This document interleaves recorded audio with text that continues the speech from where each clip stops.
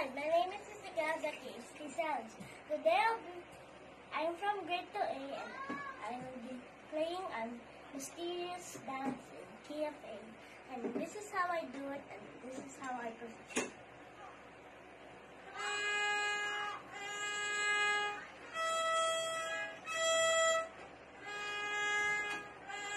Thank